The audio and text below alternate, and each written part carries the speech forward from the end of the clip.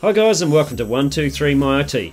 In this video I will show you how to fix your MacBook Air by resetting the SMC. Okay guys, in this video I will show you the official way to fix your MacBook Air with the T2 chip.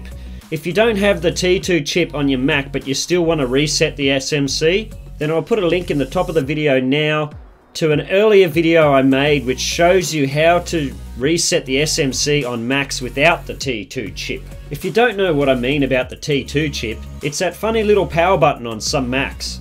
Resetting the SMC can fix issues such as fans running at high speeds, battery and charging issues, sensors and status indicator light issues, problems when opening and closing the lid on your Mac, as well as a whole host of other issues you might be having with your Mac.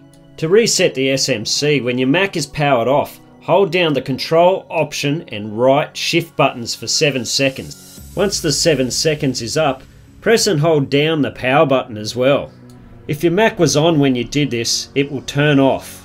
Here's a picture of the keys that you should be holding down. Keep holding the keys down for another 7 seconds and then release them.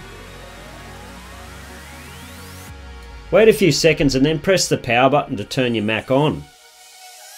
Once your Mac is powered back up, check to see if you are still having the issue that brought you to this video.